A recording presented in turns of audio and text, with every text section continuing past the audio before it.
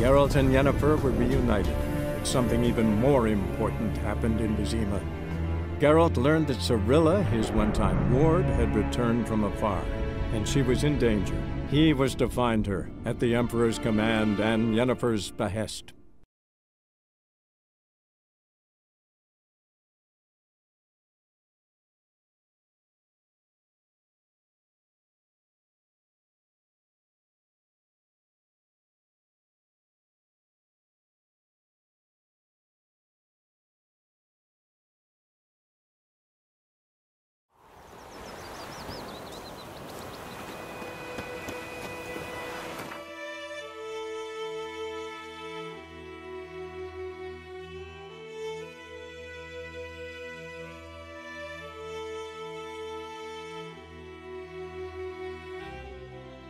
Wounded and tired, Ciri collapsed in the swamp.